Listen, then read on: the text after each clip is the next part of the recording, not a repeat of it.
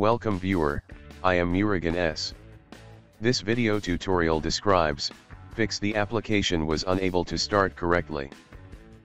First method is, type CMD in Windows search bar. Right click run as administrator. Type sfc space slash scannow. System scan beginning.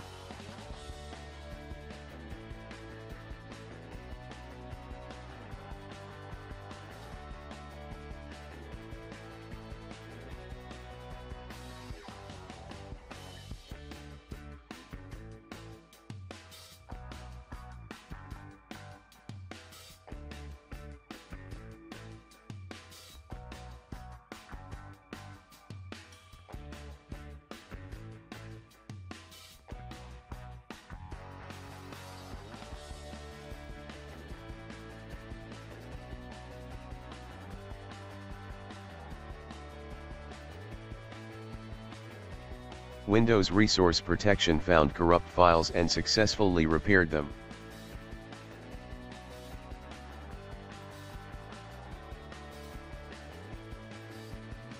Type exit exit from command prompt. Open your application, if still same error exists. Second method is Type CMD in Windows search bar. Right-click Run as administrator.